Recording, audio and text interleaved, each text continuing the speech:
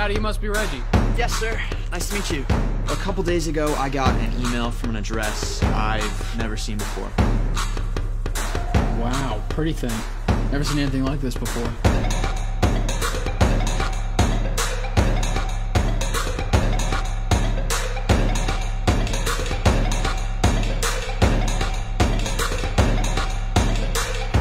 I think we got luck on our side, boy.